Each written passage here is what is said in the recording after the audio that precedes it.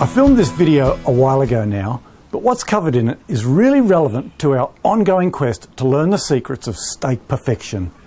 It's a video I took at the Sydney Royal Easter Show, and I just went around talking to the judges and asking them what makes the perfect steak. If you listen carefully, you'll pick up some real gems of wisdom. Listen out for what these cattlemen say about choosing the right fat cover on your meat.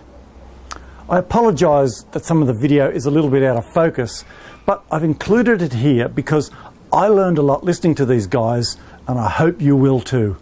Okay, so we've come here today to the Sydney Royal Easter Show and our job today is to track down the perfect steak. Now, I know it's a tough job, but someone's got to do it. So, I know that the cattle are over here, so let's head over to the cattle pavilion. 42, 22, 10, a starting 2, 10, $2. I'll 2, bit of a 2, I'll 2, bit of a 2, I'll be 2, 2, be 2, I'll be 2, and 7, of a 2, I'll 5. So, in our quest to discover the perfect steak, we're here today at the Sydney Royal Trade Hoof and Carcass competition. And what we're looking for today is just what the judges are judging for in this competition and how that translates into a great piece of beef on our plate. So let's go and have a look and see what we can come up with. Come with me. So I'm here with an old friend of mine, Rob Cinnamon, who's the chairman today of the steer judging competition. G'day, Rob. How are you going? Great to catch up. Yeah, great to see, to see you, again. Yeah. Tell me, how important is genetics in getting cattle to this stage? What I'm trying to understand is when we're talking about that perfect piece of steak on your plate, so much has gone into that, so much breeding and thought and preparation. How important is genetics and the breeding to that?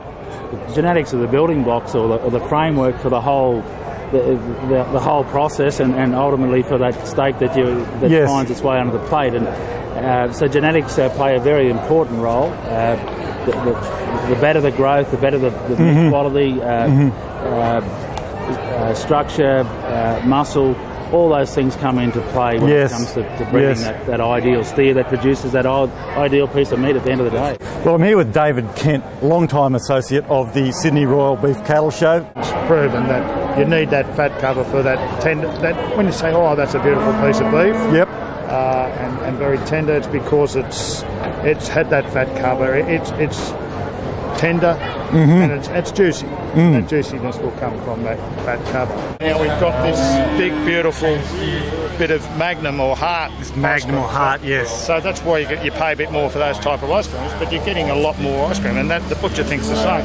I've got my paddle pop stick holding it up, but I've got this big bit around. Jock, you were saying about fat. Can you just explain to us again why fat is so important in getting the right coverage and the right amount of fat throughout the beast?